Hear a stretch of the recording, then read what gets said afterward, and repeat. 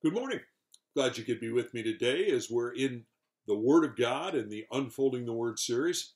We're in the midst of the book of Daniel, and now we're in the second chapter of Daniel, examining yet another of the crises that Daniel faced in his life. And this was a crisis surrounding a dream that God had sent to Nebuchadnezzar, the emperor of the Babylonian Empire. I'm going to read out of chapter 2 today, the verses that we've already begun to examine together. Chapter 2, verse 1. In the second year of the reign of Nebuchadnezzar, Nebuchadnezzar had dreams, and his spirit was troubled, and his sleep left him. And then the king commanded that all the Magi, the enchanters, the sorcerers, and the Chaldeans be summoned to tell the king his dream. And so they came and stood before the king. And the king said to them, I've had a dream, and my spirit is troubled to know the dream. And then the Chaldean said to the king in Aramaic, O king, live forever. Tell his servants the dream, and we'll show you the interpretation. But the king answered and said to the Chaldeans, The word from me is firm. If you don't make known to me both the dream and its interpretation, you shall be torn limb from limb, and your houses shall be laid in ruins. But if you show the dream and its interpretation, you shall receive from me gifts and rewards and great honor. Therefore, now show me the dream and the interpretation. And then later on in verse 28, it says, Daniel speaking to the king says, There is a God in heaven who reveals mysteries, and he has made known to the king that what will happen in the latter days. All right, what are we talking about? Well, this new crisis facing Daniel and his friends is the crisis of a death sentence. They've been now confronted with the reality that they've just done this wonderful thing of getting passing the tests of chapter 1. They're in positions now within the Magi order, uh, prepping for the future, and now they're told they're going to be killed. Now, in the backdrop to this, we looked a bit at Babylon itself and where Babylon came from, why it was such a central city. We looked a bit at Nebuchadnezzar, and I hope some of that background has been helpful for you. Now, today, let's turn attention to the dream itself and what God was doing in the midst of this dream that he was sending King Nebuchadnezzar. God had a purpose for the dream that he sent. All right, he sent a prophetic dream to Nebuchadnezzar.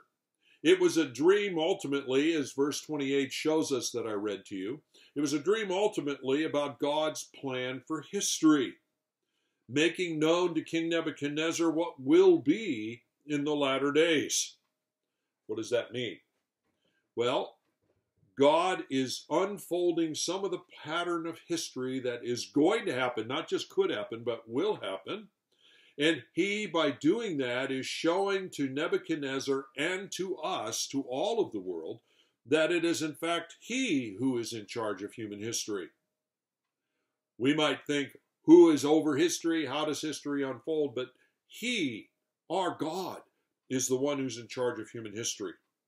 We learn in the midst of this chapter 2 unfolding that it is God who not only is in charge of history, it is God who is going to bring history to a climax and a close.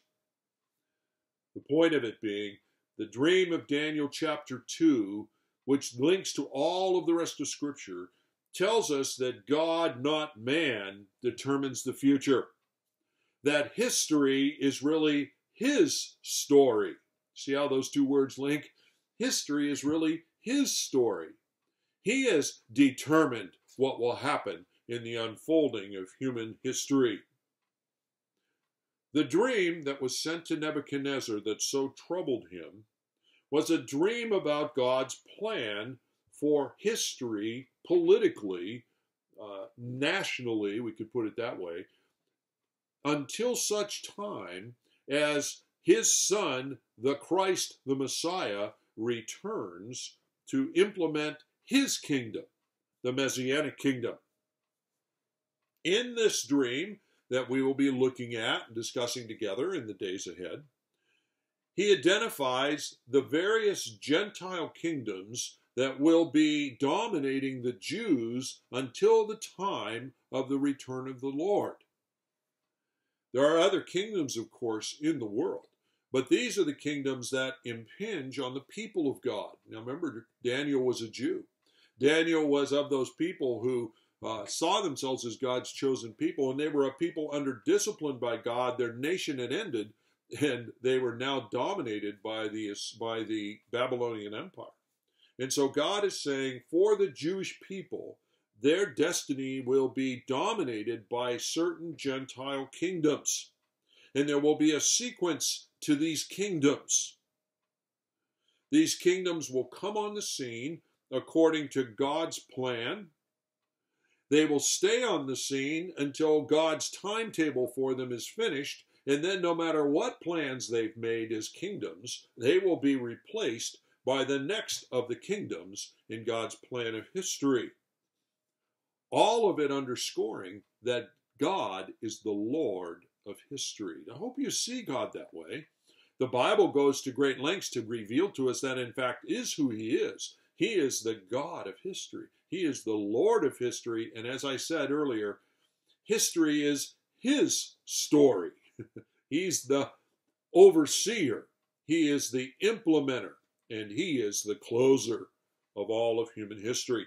I was thinking of Acts chapter 17. You remember Paul in Acts chapter 17 is speaking to the Athenians. He's on Mars Hill, the center for the intelligentsia, of the philosophers of the day. And he speaks to them about Christ and he speaks to them about the resurrection. And here's something he says to them in Acts chapter 17, verse 26. And he made from one man every nation of mankind to live in all the face of the earth, having determined the allotted periods and the boundaries of their dwelling places. And he did this that they would seek after God and perhaps feel their way toward him and find him, and yet he actually is not far from each one of us. Okay, who is the one who determines the allotted periods and the boundaries over history of all nations? God. Later on in chapter 2 of Daniel, in verse 21, we read this about God He changes times and seasons. He removes kings and sets up kings. Who is it that is really in charge? And the answer is God. and human history might seem to us to be a picture of humanity's control and direction it is really a picture of the Lord of history and God's intentions. All of these things that God is unfolding in this dream and this sequencing of kingdom lead to the culmination of God's plan, which is to do away with Gentile kingdoms and replace it with the kingdom of his son, the Messiah. Now, God sent this dream to Nebuchadnezzar, who, as we've already seen, was the most powerful ruler of the ancient world. He was the one, I read this to you out of the fourth chapter of Daniel yesterday. He's the one who thought he was in charge of his life and of his kingdom and of history. He felt he was most in charge. And so God goes to the one who thinks they're most in charge and says, You're not in charge at all. I'm in charge. And I'll show it to you by my plan of history. We'll see more specifics about this plan of history in the days ahead. Now, Notice, once Nebuchadnezzar received this dream, he knew it wasn't like other dreams that he'd had. He was troubled. He was unsettled. The scripture here says that his mind was troubled, his sleep was disrupted.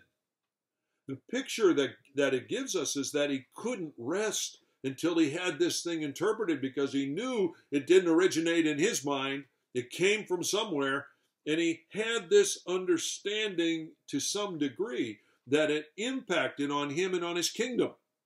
He was a sharp guy, remember? But he didn't know how it was to impact on his kingdom. All he knew was, I've got to find the answer to this dream. I've got to know why I got it. I've got to know what it means. And so, what did he do?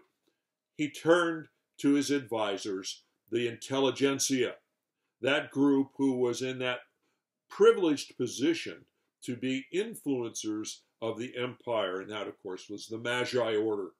Yes, the same order out of which later on, at the time of the birth of the Lord Jesus, uh, some of their order came to seek out the newborn king, as Matthew chapter 2 tells us about. Well, this was the Magi order. this was the order into which Daniel and Shadrach, Meshach, and Abednego had just been promoted and put in positions.